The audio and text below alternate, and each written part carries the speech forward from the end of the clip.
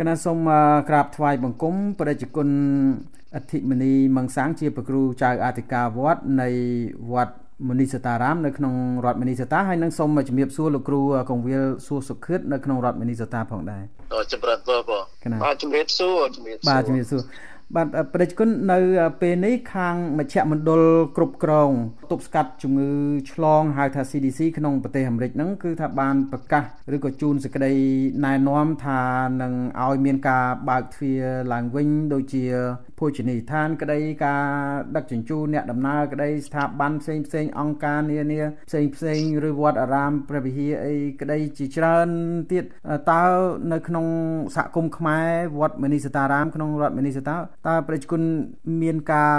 ដូចថាបើកទ្វារឲ្យឬនៅដើម្បីទទួលពុទ្ធបរិស័ទឬក៏មានកម្រងយ៉ាងដូចម្ដេចនៅក្នុងរយៈពេលនេះអឺចម្រើនពរ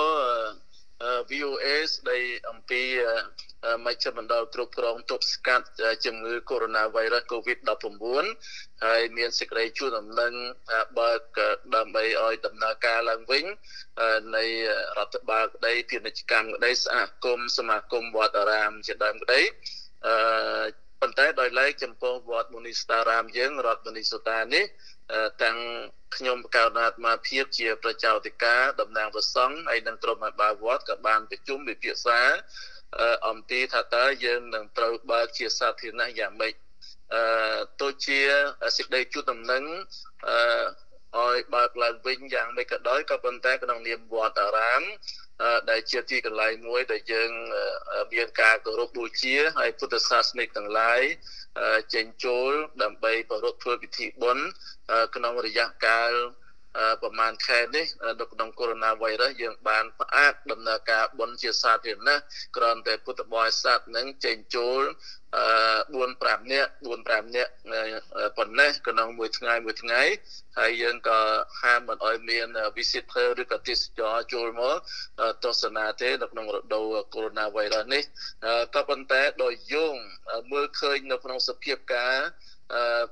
មួយសប្តាហ៍ពីរសប្តាហ៍កន្លងហើយនេះឃើញថាអឺ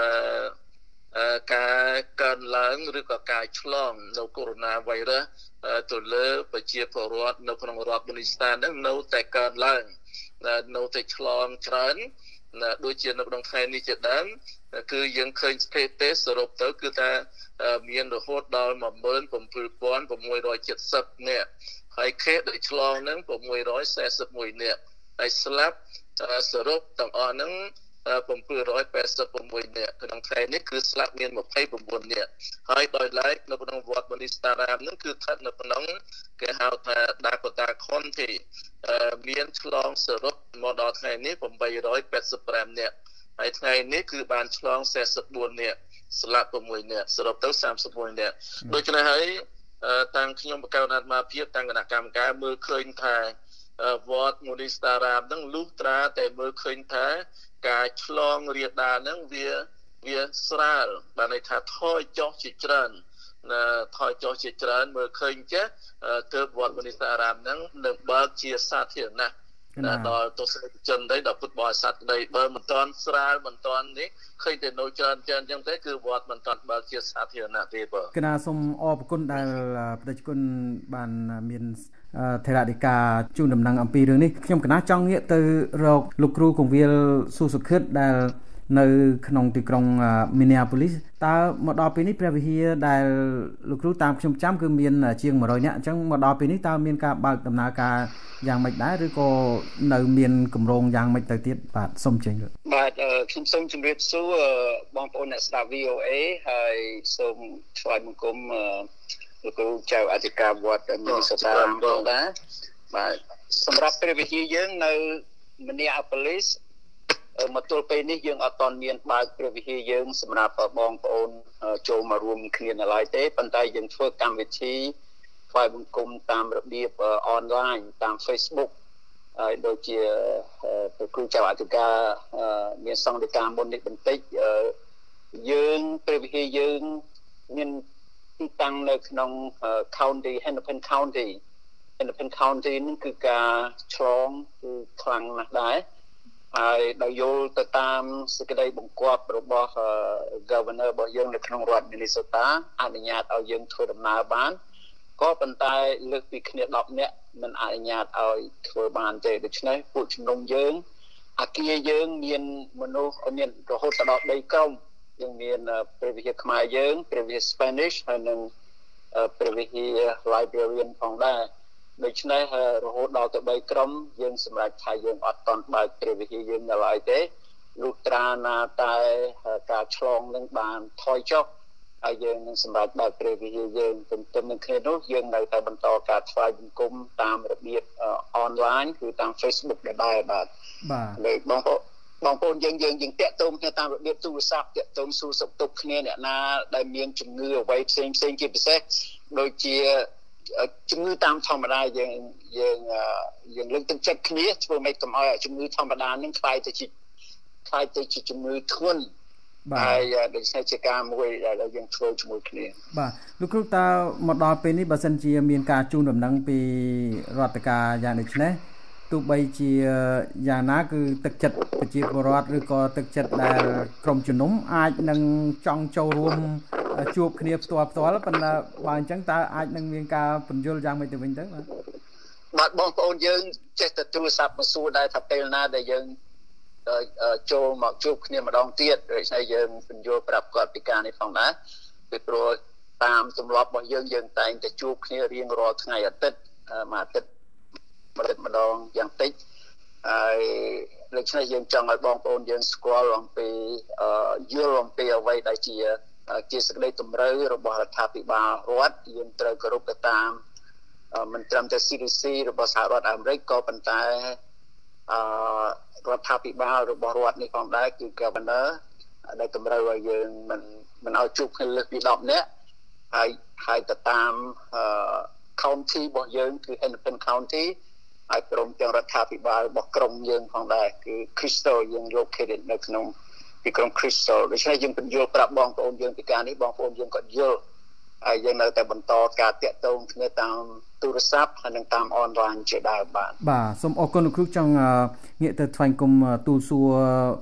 ព្រះគ្រូចៅអធិការវត្តមនីស្តារាមវិញប្រជាជននៅពេលនេះដូចជាប្រជាពលរដ្ឋខ្មែរចង់ដូចថា ចូលរួមនៅក្នុងវិស័យពុទ្ធសាសនាឬក៏ធ្វើបន់ទានជាច្រើនឬក៏មានកម្មវិធីអីផ្សេងផ្សេងតើមកដល់ពេលនេះតើបានចាប់ផ្ដើមខ្លះហើយឬនៅ អំពីរឿងនោះឬក៏គ្រាន់តែមានការដូចថាប្រគិនចង្ហាន់ខ្លះខ្លះតែប៉ុណ្ណឹងឬក៏មានការប្រស្រ័យតាក់ទងដូចថាជាក្រុមតូចតូចអញ្ចឹងឬក៏យ៉ាងណាដែលគុណអាចបញ្យលបានយ៉ាងដូចម្ដេចសូមនិមន្តគុណ ចម្រើនពរក្នុងវត្តមនីស្តារាម យើងមានចាត់ជារបៀបតាំងពីមានបញ្ហាកើតឡើងមកដូចជាកម្មវិធីជួលឆ្នាំកម្មវិធីវិសាខបូជាមិនមានការជួបជុំគ្នាច្រើនដូចរាល់ឆ្នាំទេក៏ប៉ុន្តែ ក្នុងរយៈកាលរដូវជួលឆ្នាំអញ្ចឹងពុទ្ធបរិស័ទទាំងឡាយនឹងអាចមកមួយថ្ងៃ5នាក់6នាក់ដោយសេចក្តីជូនដំណឹងប្រគិននឹងខាន់ក្តីបាំងស្គូក្តីនឹងមកនៅក្នុងព្រះវិហារដែលមានទីកន្លែងធំចេះយើងប្រគិនហើយដោយការបបរិស័ទនឹងប្រើស្រោមដៃប្រើម៉ាស់ហើយអង្គុយថ្វាយអង្គមព្រះក្តីទទួលពរពីប្រសង់ដីក៏អង្គុយឃ្លាតគ្នាចម្ងាយពីគ្នា6ហ្វីតហ្នឹងគឺយើងធ្វើរយៈកាលជាច្រើនថ្ងៃដែរក្នុងជួឆ្នាំយើងពីអាទិត្យបីអាទិត្យអញ្ចឹងហើយដល់វិសាខបូជាក៏ដូច្នោះប្រសង់ក៏ទៅស្វាធ្យាយវិសាខបូជា នមស្ការដោយការគង់ឃ្លាតគ្នាហើយបរិស័ទ5 6នាក់តែប៉ុណ្ណោះមិនអោយលើសអីច្រើនដល់ជាង10នាក់ទេដូច្នេះយើងធ្វើធ្វើច្រើនអញ្ចឹងជាជាសប្តាហ៍ជាសប្តាហ៍រំលែកគ្នាក៏ហើយក្នុងការប្រជុំដូចជាប្រសងគណៈកម្មការប្រជុំអំពីកិច្ចការវត្តអំពីកិច្ចការសំណង់ជាដើមគឺមិនមិនមកប្រជុំទេប៉ុន្តែយើង set up របៀបប្រជុំតាម Zoom meeting ណា Zoom meeting នេះយើងប្រជុំបាន 10នាក់20នាក់អីឡើងទៅណាយើងធ្វើកិច្ចការនេះដោយការយល់អំពីស្ថានភាពកិច្ចការទាំងឡាយហ្នឹងបានជោគជ័យដោយការប្រជុំតាមអនឡាញហើយមិនត្រឹមតែប៉ុណ្ណោះទេដូចជាយើងគម្រោងធ្វើបន់អីមួយមួយពុទ្ធបរិស័ទមិនអាចមកធ្វើបានក៏ប៉ុន្តែយើងផ្ញើសម្បត្តិប្រូក្រាមបន់ទៅពុទ្ធបរិស័ទមិនបានមកបន្តទេគឺថាផ្ញើជាសម្បត្តិជាបច្ច័យពវរណាមកប្រគេនដល់ព្រះសង្ឃហើយព្រះសង្ឃនៅក្នុងជារៀងរាល់ថ្ងៃលោកធ្វើកិច្ចនមស្ការសូត្រមន្តបាំងស្គលផ្សាយមេត្តាធម៌ឧទ្ទិសផលនឹងរៀងរាល់ល្ងាច រៀងរាល់ពេលនឹងជូនដល់ពុទ្ធបរិស័ទដែលមិនបានមកក៏ប៉ុន្តែបានផ្ញើថាវិការជួសម្រាប់វត្តដូច្នេះយើងឃើញថាបានខ្លះខ្លះក្នុងដំណើរការដែលយើងធ្វើនេះសូម្បីតែក្នុងពេលខាងមុខខែ6ខែ7ដែលជារដូវជិតចូលប្រោសាហើយនឹងបនផ្កាសាមគ្គីដើម្បីកសាងក្នុងវត្តជារងរាល់ឆ្នាំក៏មិនអាចធ្វើរួមបានទេក៏ប៉ុន្តែយើងរៀបចំកម្មវិធីដោយ ផ្ញើកម្មវិធីបនទៅឲ្យពុទ្ធបរិស័ទនឹងអាចរៀបចំដូចជាបនប្រការមួយដើមពីរដើមមកម្ដងពីរអ្នក4អ្នកអញ្ចឹងមកប្រគេនម្ដងទៅថ្ងៃស្អែកនៅបរិស័ទក្រុមនេះក្រុមនោះ4 5អ្នកមកអញ្ចឹងទៅជាដើមប្រការក្តីជាសម្បត្តិក្តីមកជាលំដាប់លំដាប់ហើយកិច្ចការក្នុងវត្តដូចជាសាងសង់ ចិត្តដីការសាងសង់ខ្លងទ្វារសាងសង់សំណង់ទាំងឡាយក្នុងវត្តហ្នឹងក៏យើងធ្វើក្នុងមួយក្រុម3នាក់4នាក់ប៉ុណ្ណឹង3 4នាក់ប៉ុណ្ណឹងដូច្នេះនៅតែមានដំណើរការក្នុងវត្តហ្នឹងជាធម្មតាប៉ុន្តែមិនក៏គឹកកក្រែងអីដូចជាលើកមុនមុនឆ្នាំមុនមុនបងចម្រើនផងបងកណាប្រជាជនជាដូចថាប្រធានពុទ្ធកសមាគមប្រសង់ខ្មែរនៅសហរដ្ឋអាមេរិកផងហើយមានវត្តអារាមជាង140នៅ ពាសពេញរដ្ឋនៅក្នុងសហរដ្ឋអាមេរិកទាំងជាង30រដ្ឋជាងហ្នឹងតើមានវត្តផ្សេងផ្សេងទៀតមានការជូនដំណឹងថាមានការបើកជាទលំទលាយធម្មតាហើយទៅនៅមកដល់ពេលនេះគុណអឺមកដល់ពេលនេះគឺថាវត្តទាំងឡាយក្នុងសហរដ្ឋអាមេរិកវត្តប្រសង់ខ្មែរយើងពុទ្ធសាសនាខ្មែរហ្នឹងមិនតាន់មានដំណឹងថាវត្តណាបើកទលំទលាយ ជាសាធារណៈនៅឡើយគ្រាន់តែបែបរបៀបដូចវត្តមុនីស្តារាមអញ្ចឹងទទួលប្រសពបន្តិចបន្តួចបន្តិចបន្តួចដែលកម្រិតរបស់រដ្ឋបាលហើយសូម្បីតែវត្តខ្លះគឺ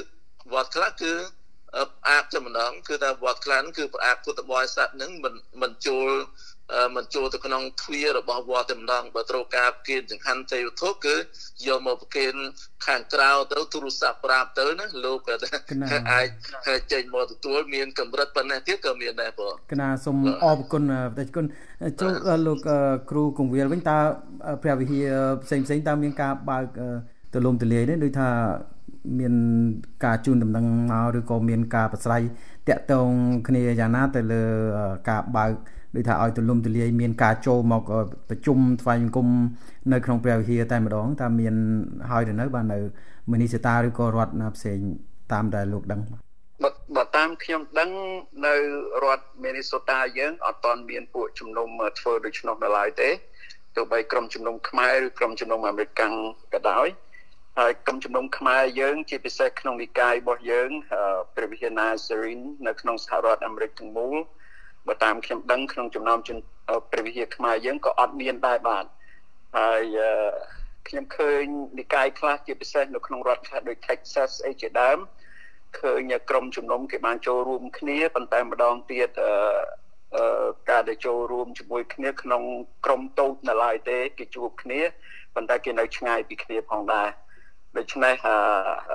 ខ្ញុំឃើញព្រះវិហារមួយនៅ Texas គេធ្វើដូច្នោះក៏ប៉ុន្តែខ្ញុំអត់ដឹងច្បាស់ថាតើ